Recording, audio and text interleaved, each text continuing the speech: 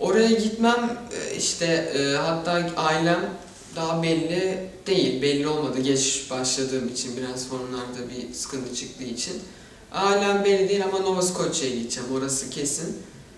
Ben şöyle diyeyim ben eğitim sisteminde farklı olacağını ve yani ayrıca da tabii ki de en önemli olan şey dilimin gelişeceğini orada çok rahat bir şekilde düşünüyorum.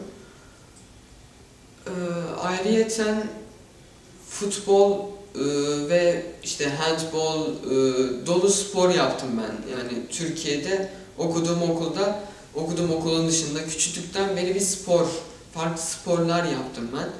Oraya gidince amacım orada bir futbol oynamak önce, bir futbol takımı ya da bir şey görmek spor açısından.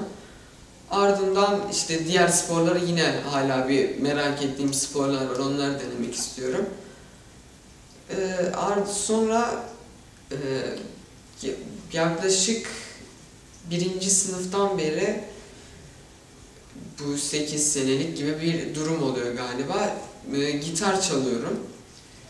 İşte e, gerek gruplara katıldım falan filan.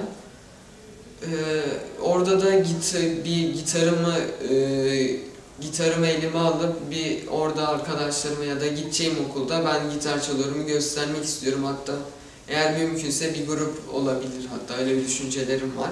Ama bakalım işte ne olacak.